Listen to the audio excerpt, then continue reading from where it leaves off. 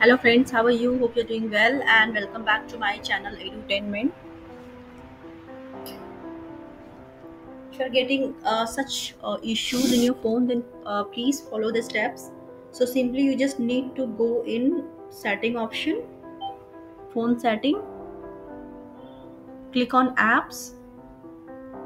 Now click on app management, find Facebook click on force stop.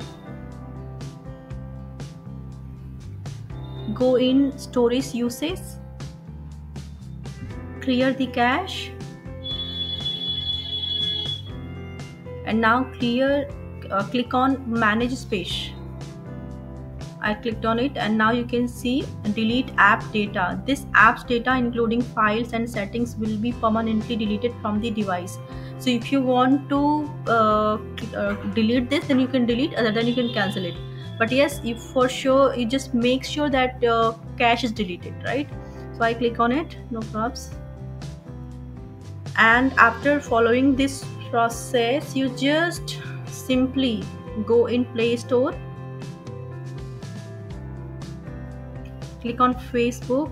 Click i mean search facebook yeah update is required. So if uh, your phone is asking uh, i mean your facebook is asking for update then, then update the uh, facebook. Now i'm updating it.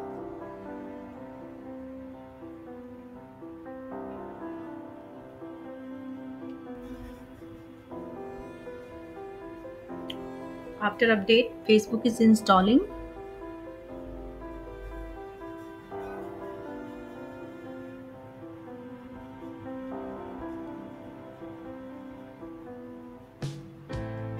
now you can see. Open the app.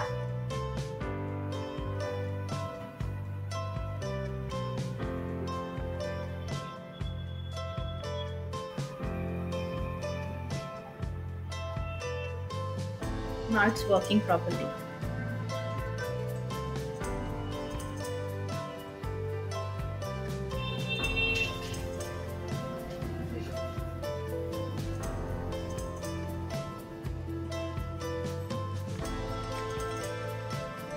Thank you for watching.